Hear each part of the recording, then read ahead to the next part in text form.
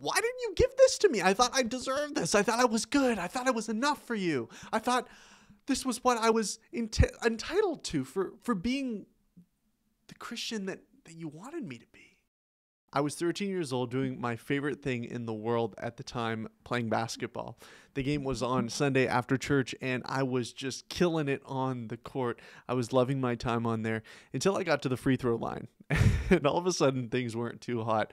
I missed two free throws. I went back to the bench, and coach was not happy with me. Thankfully, that game, a lot of my other teammates, they were missing free throws as well. And I remember it was the practice after that that our coach drilled into our minds that we have to spend more time on the fundamentals if we want to be a good team. We have to spend more time focusing on our free throws. That way we can take advantage of the points and get advan- get the advantage in the game and really get the result that we all wanted, which was the championship at the end of the year. Now, this kind of mentality is something that resonated with me. You put in the work, you get the result that you're looking for. If you don't put in the work, then there's no expectation and there's no thought that, hey, I'm going to get what I want out of this. Now, when I became a Christian at around that time of my life, I took that same philosophy into my Christian walk. If you put in the amount of work and effort into it, you're going to get out a good result. I had expectations on God. If you would ask me, Isaac, what do you expect God to do for you? I would say, well, I guess I accept, expect him to save me of my sins because that's what he said he would do. I expect him to um, love me because that's something that he said he would do for me beyond that, you know, I expect him to show me his grace because he's given me himself and, and all that kind of mm-hmm. thing. But if you were to dig a little bit deeper and you were to say, Isaac, are you sure there's no more expectations that you have on God? I would say, no, no, no. You know, we're not guaranteed, you know, perfect life or anything. We're not just guaranteed a smooth road, you know, and and and the Christian life is hard. So, you know, we just need to cling to God and and that's that's what he guarantees us. He actually guarantees us trials and tribulations sometimes. I would even say that. Um, but the truth was, in my heart, and maybe you've had a similar experience, though you can verbalize all these things, you still have expectations on God in your subconscious, whatever it is, that you're holding God to. Now, we know God's sovereign, we know He's in control, but at the end of the day, we think that if we put in the necessary components to our Christian walk, into our Christian faith, into our life, if we do it the right way, then God will see that and He will bless us with what we want it fits right into our individualistic hustle culture mentality in the Western culture. You think about it, it's like I'm going to put my life on hold and I'm going to hustle towards this thing that I really want in order that the results will fall in my favor and I'll get what I've always wanted. I'll get the house, I'll get the marriage, I'll get the business, I'll get the the money, I'll get the uh, popularity, whatever it is, because I put in the work that feeds us. It makes us feel like we are in control. I don't know about you guys, but even when I'm in that mentality and when I have been in that mentality in the past past, I tend to compare myself to other people. I'm looking to the side and saying, man, they're working harder than me. Man, they're being a better Christian than me. They're evangelizing more than me. Now, in my heart, what I want it to be is to be like, wow, that's awesome. They evangelize. That's so cool. That's amazing. Another person, uh, you know, a seed planted. That's that's great. But for a long time, what was in my heart was, man, they're being such a good Christian. I'm sure God loves them a lot, probably more than me, because they do a lot more for Him than I do. And I'm sure down the line that'll pay off for them. God will bless them with a lot of things and a lot of things that they want because they're being such a good Christian. This kind of thinking may just seem crazy to you if you grew up in the church, if you grew up in evangelical circles where, you know, we're constantly pounded on by guys, this isn't just about getting what you want. It's not just about, you know, trying to, it's not the prosperity gospel here. We're against the prosperity gospel. Uh, this is about just, you know, wanting to serve God and, and kind of just give yourself to Him and submit yourself to Him. But here I am in my heart, really not buying into that. Then I would fall into sin, sometimes dive right into sin for a season of time. And I would feel so guilty and ashamed and I'm like, wow, I'm so far behind. And it wasn't necessarily even like sometimes, man, I'm sinning against God. It's more like, man, I'm really not being a good Christian here. It was much more out of reaching this specific measure that I had an expectation of myself of what I needed to be versus the God that I was actually sinning against. The subtext here is I need to keep pushing. I need to keep working. I need to get up in order for God to love me, in order for me to get the things that I want to get from God, in order for other people to love me within the church, within Christianity. I want to be somebody that's seen as good, as responsible, as holy, as uh, mature in their faith. I want all these things, but I was falling short. At this point, you're looking at my story and you're thinking, man, Isaac, how far have you fallen from the true gospel? You're believing all these lies, all these crazy things. How does your mind get to this place? Well, I'm sure there's others out there that you can testify with, with me too. It's it's not that hard of a jump to say, man, I need to do these things in order to gain this love. Because, hey, guys, the truth is we were made for love. We were made to receive love. We were made to give love. We were made to be in perfect community and connection with God, who is the ultimate definition of love. In the garden, it was perfect love, it was perfect security, it was perfect significance. But when that broke off, all of a sudden we're looking for all these other places. How can I be filled? How can this need in my soul be filled? And we think we can get there by doing enough and being enough. And so some people, the truth is, some people, they play this game. They play this game of what can I do so I can get from God? And it pans out for them. It, pans out for them. They get the house. They get the job, they get the ministry, they get the life that they wanted, they get the family. And it works. And they come out and they say, hey guys, like if you do these things, if you work this hard, if you love God, then you know what? Like, I'm not saying you're going to get all this stuff, but there's a good chance you might. And here we are, like, okay, that's what I want. Here's the trouble. Here's when your faith gets shaken is when you run on this presumption your whole life and then you encounter something that you can't reverse. Maybe it's something you did, maybe it's something somebody else did, a broken dream, a loss of a loved one, something that shakes you so hard, something so significant in your life where you know, okay, um, I can't fix this. And in a lot of ways, this isn't fixable. This is something that has happened, it's done, and I can't change it. And I'm kind of angry at God because I thought, God, if I did the stuff that I was supposed to do, then God would say, Oh, my beloved child, of course I want to give this to you. Of course I want to offer you exactly what you've always wanted. Of course, of course I want to give you what you've always dreamed for. So, what happens when that's taken away from you? What happens when that's ripped from your hands? Guys, I'm going to be honest with you. In a lot of ways, I resonate with that person a lot more. That person that says, God, what, what, what happened? Um, I, I thought I was doing the right thing. I thought I was doing things the right way. So why didn't it pay off the way that I thought it was going to?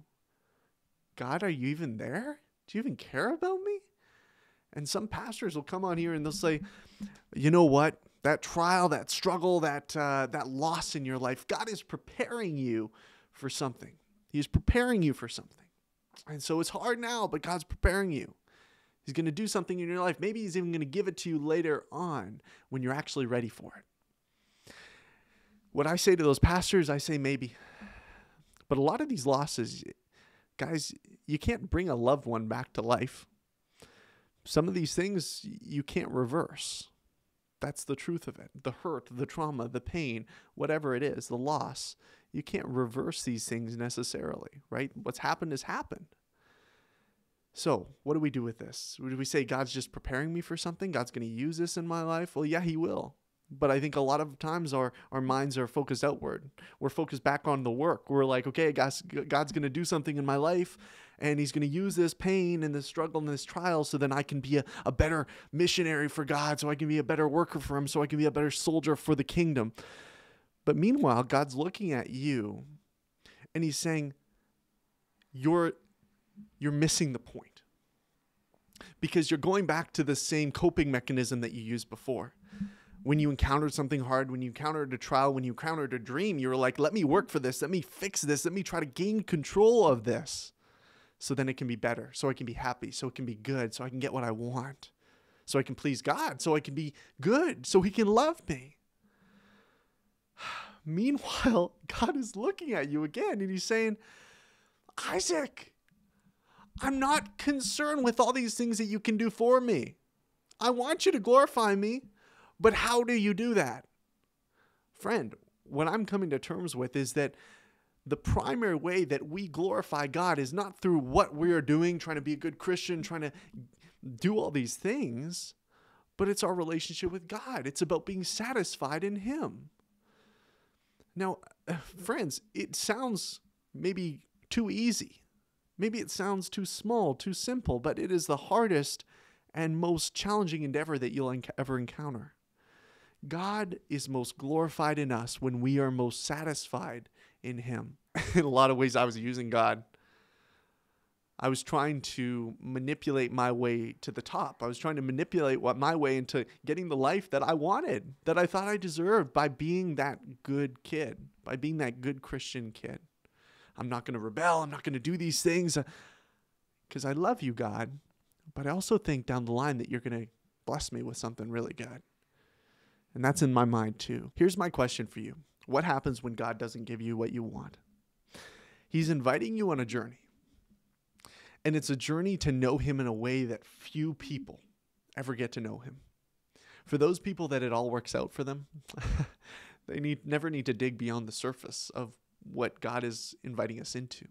Yeah, I'm a good Christian. I'm a good guy. Yeah, Jesus died for my sins, but you know what? Like that's awesome and that's great. And I'm gonna show up to church and uh, you know read my Bible occasionally, but otherwise my life is great. For those of you who've encountered a trial, a struggle, something so difficult in your life that has shaken you, maybe in this moment you're feeling shaken to your core. Your faith is is there, but it's small. It's like mustard seed right now.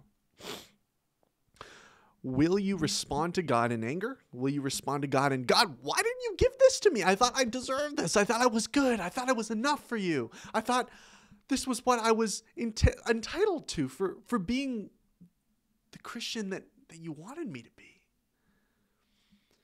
Are you going to respond like that? Or are you going to realize the truth? The truth is is that it wasn't about all this stuff.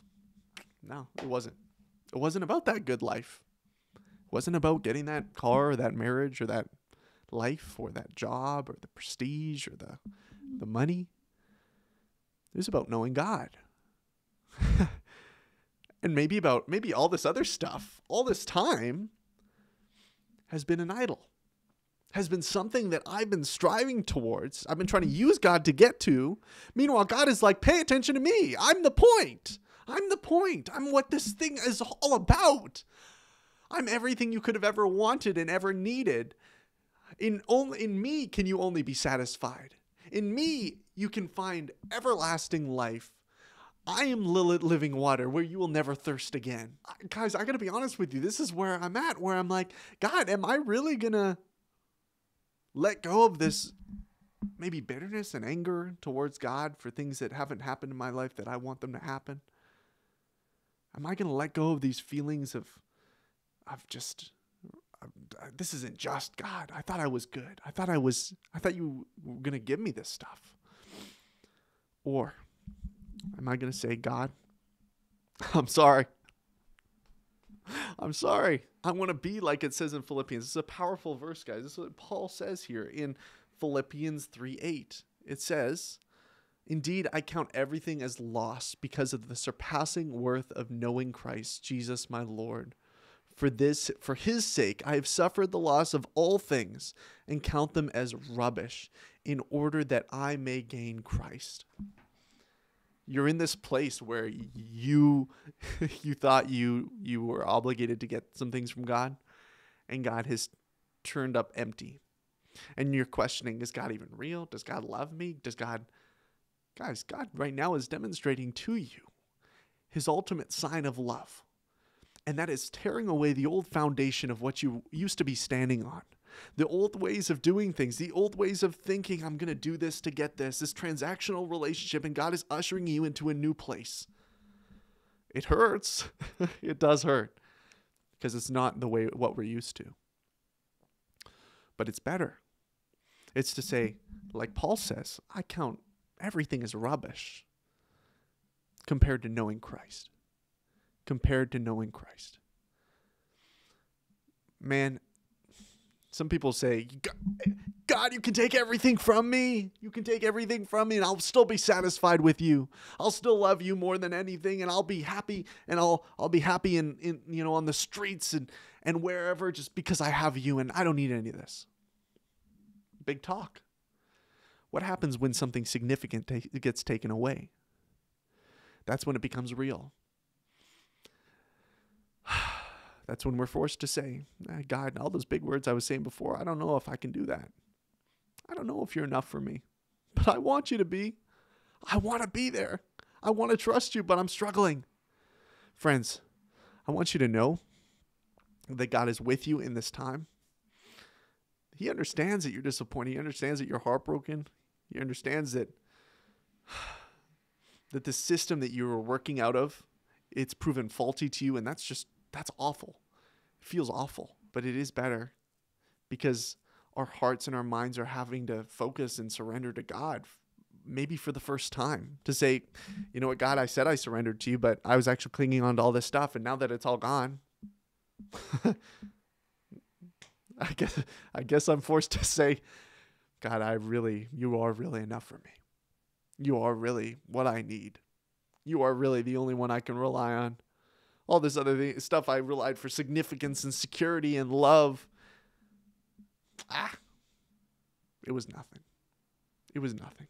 I hope you got something from this video. I hope it testified to your heart because I know this is something that's weighed heavy on mine. Thank you to everyone who supports me on Patreon. Uh, we're going to have some updates on Patreon in the coming weeks and months that are going to spice it up a little bit. Um, so thank you to everyone who's joining on there too. This is my full time gig. This is how I support my family. This is what I'm passionate about. This is my mission in my life and sharing Jesus online. And so if that's something that you want to support, that would be an amazing thing. Uh, a lot of people in my space try to create courses and stuff like that that they're trying to sell to people. It just becomes really icky for me, and I don't want to be in that place. So it'd be just amazing if I could offer everything for free. And I'm able to do that by the patrons on Patreon. So enough of that. Thank you for watching, guys. I love you and God bless.